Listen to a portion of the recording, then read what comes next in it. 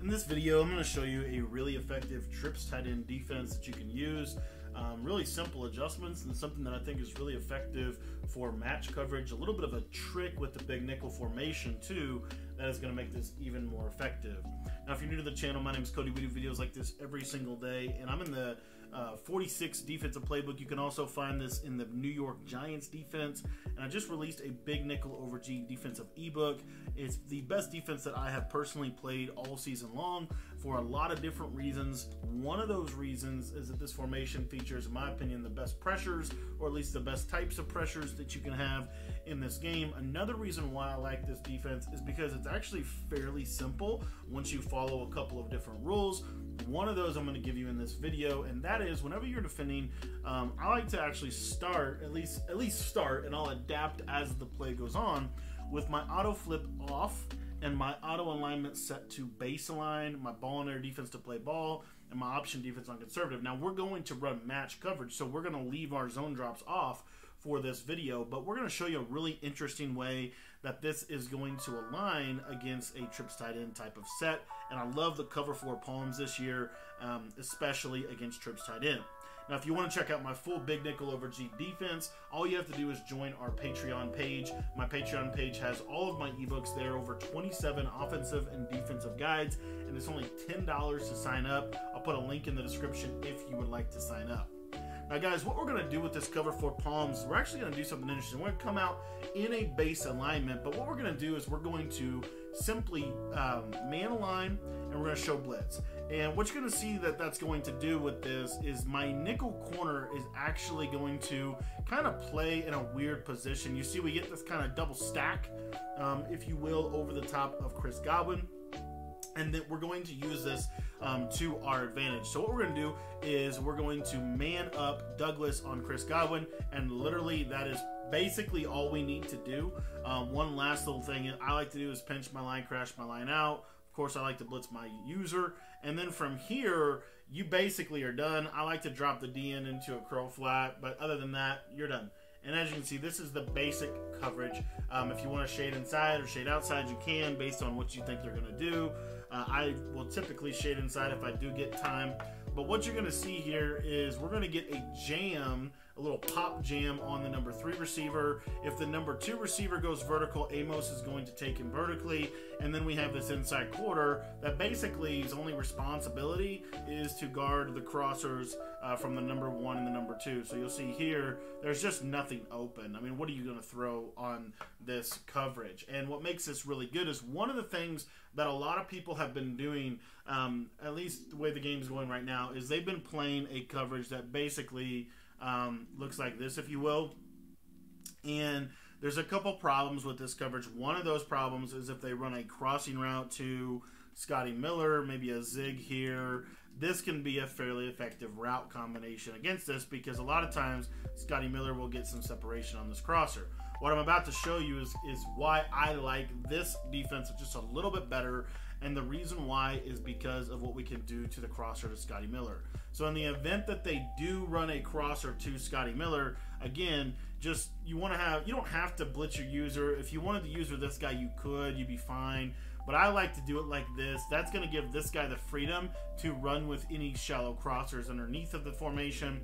And then the other thing that I wanted to say was if you watch here, we're going to put Scotty Miller on that crossing route and we're going to run it inverted like most people do um, if you run that version of the defense. And what you're going to notice here is it's actually going to defend Scotty Miller even better than it defends uh, Chris Godwin. You see here, he runs him all the way to the sideline, and then you'll see that they'll basically do a little bit of a pass off and that pass off is very helpful um, for what we want to see and just in terms of how the play is going to uh, shape up. So again, I just come out man line, show blitz, press this player, and then this guy, if he's in this quarter zone, re-quarter him. You want him in the left side quarter.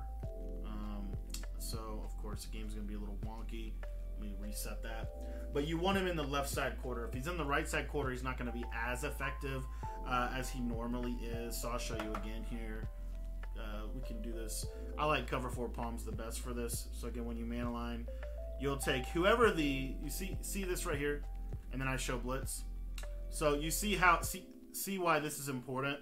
because this safety is the guy that's supposed to be in the press man coverage, and then this guy is in an inside quarter on the trip side. You need him in an inside quarter to that side, so just be a little careful. You don't want to show blitz until you have man align, otherwise it could potentially mess up the zones. But another thing that I want to show you with PA shot wheel, so again I'll show you PA PA shot post, and we'll just do it like this. A lot of times if they audible, one of the real cool parts about Big Nickel is it will auto correct a lot of times. Um, if it ever messes up the zones, just make sure that you're you're you're sampling. It's like for whatever reason black is messed up, so we'll just go ahead and three rec this guy. You can leave this guy blitzing, and we can just use this guy. Just you just need a three rec over on that left side. But anyways, what you'll see here is this crosser to triangle um, is just going to be absolutely bagged across the field. Of course, that's a knockout or that's a acrobat pick. It's very good coverage across the formation. So first step, man line. Second step, show blitz. And typically that will protect you and make sure that the safety is the guy that's actually down in this box, which is what makes this makes this really, really good. Okay. So now if I audible, let's say I go to the PA slot corner. One of the things that you're noticing here is if I do audible, um, it can kind of mess up my plays. All you want to do is re-man align twice and typically it should be fixed. Just reset your linebackers. Also, that can be helpful for it. If you ever get in, in any trouble, you know, just kind of mess with that a little bit. But typically speaking, you're going to be fine here. Um, this has to do with some of the flipping uh, of the play, so you know you can use her. This guy's kind of like a wild card anyway, so if you want to put him in a hard flat, you can, and then you can bluff blitz this D end on the on the left side. So you see that way we're going to be able to defend tight end drags or any underneath stuff. But the other thing that I want to show you is this corner route. So a lot of times this corner route's very good against cover four palms. What you'll see right here is it's um, it's not going to get open. Like you see there, he's going to cover it. He's going to play it pretty much perfectly across formation. And then what I really like about this play, um, in terms of cover four, what I really really like about this this concept here is what it does to the slant post combo. One of the most popular route combos this year is the slant post combo. Basically looks like this. And what you'll see is that this tight end post will be absolutely bagged by the outside quarter on the right side of the screen. So you see he'll I just won't even use anybody. See he gets completely bagged. Your skinny post is bagged and your slant route is bagged. As you can see, one of the best coverages in the game for trips. Now, uh, wanted to leave you with a last little piece here what do you do if they motion across? So let's say they go to a play like X spot and they run, you know, something that looks kind of like this, and you've gone through all the trouble, you know, man aligning, and you've set your play up, and it looks kind of like like this. If they do that, all you do is re inside quarter your safety. Just re inside quarter your safety. See how this auto corrects itself, and then you want to. I would bluff blitz this guy right here. You could, if you have the play in your audibles, just re-audible to it, or just re-baseline here.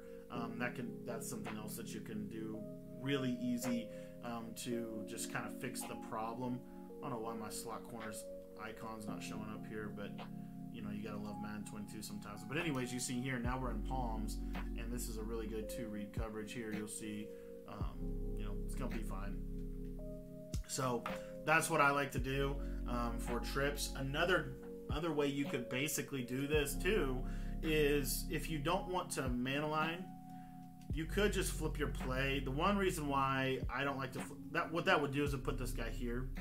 The one reason why I don't like to flip my play though is if you think about it, when I man align from this look, I'll get this guy here, and then I'll get this guy here.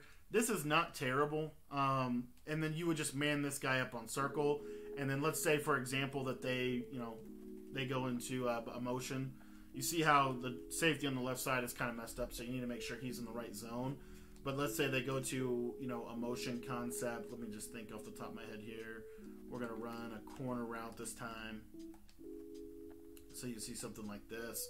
If that's the case, then just re outside quarter that guy once he comes across, and then you're just going to be back into your original cover four palms defense, which cover four palms is it's very good against two by two, as you can see right there. So that's what I like to do against trips side in, or at least one of the one of the really good trips defenses that I have. We've got a bunch of really good resources in our Patreon that walk you through exactly not only how to have good blitzes, not only how to have good general coverages, but how to have very good specific defenses for certain route combinations and certain packages and certain formations. We got bunch defense, bunch tight end defense, trips defense, U trips defense, spread defense, compression defense.